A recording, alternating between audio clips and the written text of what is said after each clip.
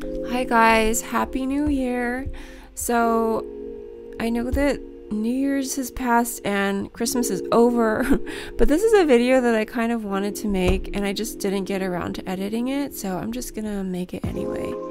Um, and I just want to show you what I got my kids for Christmas this year. Some people have asked me, and um, I think this is a fun video because I always love shopping for gifts for my kids. I'm always looking for things that I can get them. Um, at some point, I transitioned from a gift receiver into a gift giver, and I think that's when I had kids. Uh, when I was younger, Christmas was all about receiving gifts. I always knew that it was way more virtuous to say it's better to give than to receive and that it was really important to donate and volunteer and give back. But in my heart of hearts, I was a lot more excited about receiving gifts than I was about giving them for some reason. And I didn't really truly embrace that concept until I was a little bit older. When I was younger, I would wake up before the sun came up, and I would also wake up my brother and sister my parents probably had just gone to bed, and we would thunder down the stairs, look at everything in our stockings. We were so excited, and probably by the time my parents woke up, we would have already opened up all of our presents. So I'm kind of embarrassed to say that, but that's what I did as a child. Now, as like a mom, I make my kids wait until um, husband and I are awake because we love to see the expression on their faces when they open their gifts. And we love to share in that excitement. So I think it's really important for everyone in the family to open gifts together. And so we make our kids wait. We don't do what I did. So I'm pretty old. By the time you reach my age, you have so much stuff and you don't really need anything else. Like anything that you buy is sort of excessive or extra. Anyway, that's how it seems to me. And also, as an adult, I have a lot more disposable income than I did as a child. So, if there's something that I want, I'll just buy it myself. And I'm probably not going to wait until Christmas to buy it for myself or ask for it for a gift. Um, that's just how adults are, I think. And um, when you're a child, you know, you're kind of dependent on your parents for those things. So, it's probably a lot more fun to receive gifts when you're younger just because you just can't have everything that you want. When I was single, before I had kids, I used to love shopping for myself. I would always buy clothes and makeup, and I'd have my eye on the latest designer handbag or the latest gadget. Um, but now I don't really want those things anymore. I, it's not fun for me to buy them, and um, I realize that it's much more gratifying to buy something for my kids. I don't know why. I don't know, I don't know if it's because I'm old or because I have everything I need or more mature. I, I don't know what it is. But at some point, I just changed. And it's so much more fun for me to buy things for my kids. And I don't want to spoil them. So throughout the year, I try not to buy them everything they want. I do buy them a lot of stuff. But I try not to, to spoil them. Um, but Christmas is really fun because it gives me an opportunity to just buy what I want to buy for my kids and buy them things that they love without having to feel guilty for spoiling them. Um, and so throughout the year, I'll look at different things and maybe they're too expensive or maybe you know, it doesn't really seem like my kids need those things. I'll wait until Christmas to buy them. Um, and so it's it's just so much fun to get those things. And also like I, I try to keep a running list so that when Black Friday rolls around, I'll have ready those items that, that I want to get my kids for Christmas. And they always they're always discounted a little bit, so I can save a little money that way. Um, so that that's what I do.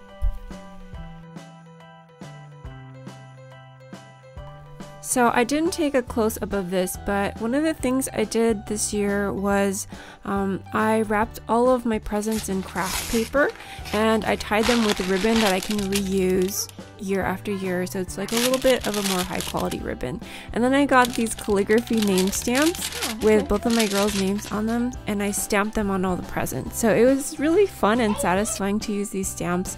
And then hopefully when they get older, they can use them for whatever they want. It's always fun to have a stamp with your name on it, right?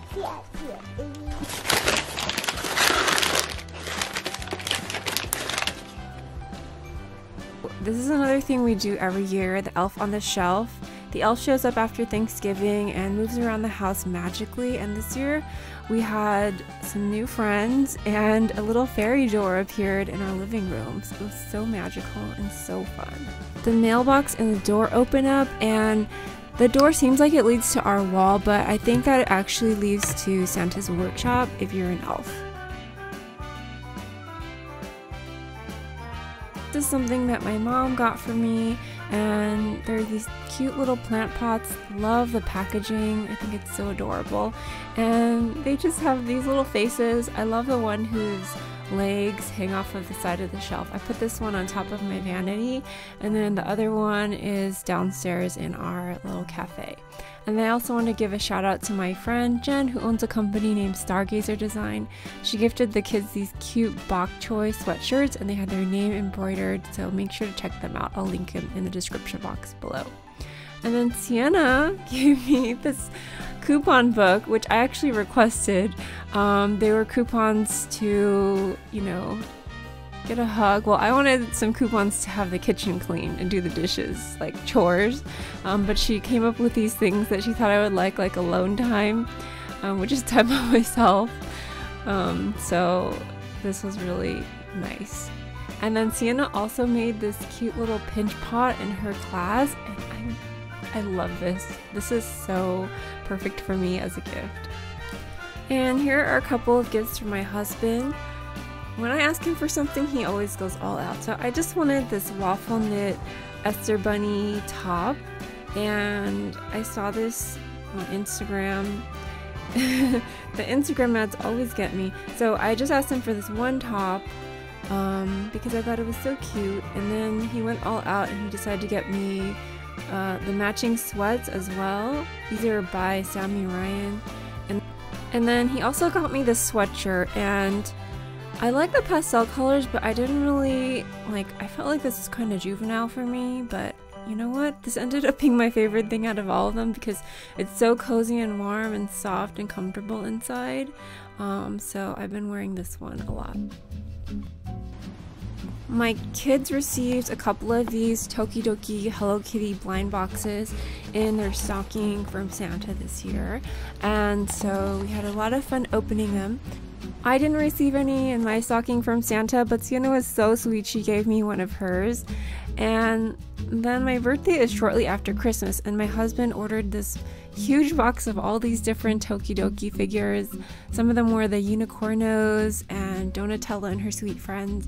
And so I thought I would just do a little haul and show you what we got in some of these boxes because even though it's not Christmas, I'm a Christmas baby and uh, it kind of fits in with the kawaii theme. I think my husband got these for me to open, but I decided to share them with my kids, so we each took turns opening um, different blind bags, and it was really fun. yes! My, my, look, knock, knock, knock on wood thing help. Your other one. so many. I gave you this one because I knew you really liked it. Really good ones, huh? Yeah, I did. No, I, I did this so I got something. Knock, knock, knock, knock, knock on. I'm really hoping to get this one. Now, I'm really hoping to oh. get Cherry Dragon? Yeah, Cherry Dragon. Tastes like a rare one. oh, we got Flamingo! Oh, that's so cute! oh my god! That one's super cute. I kind of want to open the Sanrio one. I'm not sure why I love Tokidoki so much, but I just think these unicorns are so adorable. I think the eyes are really cute. Well, not this one. This eye is a little scary on the unicorn. I wish they would have filled it in. Um, makes it look kind of evil, but I just the characters are just so likable and so cute, and the designs are so much fun. Um, some of them I like more than others, but generally, like, you're always going to get a cute unicorn or a cute little minifigure in your box. The only thing is they're kind of expensive and they're also labeled as not toys, which kind of bothers me. I wish they would um, make these toys because my kids play with them like they're toys. Uh, my like after we got all these new unicorns, playing Unicornos was their favorite game for a while. And last but not least, I wanted to share this really amazing advent calendar that I received for free from YesStyle. And you guys, this is still available on the YesStyle website if you want to get it. It's so much fun to open this. I opened everything in one day just so I could film the video. But I love the design on this box, and I think this is such a great deal. I think it's about $189, but you get so many products. I think it's totally worth it. I didn't pay for this, I did get it for free, but I definitely recommend it. I liked everything that I received in this box.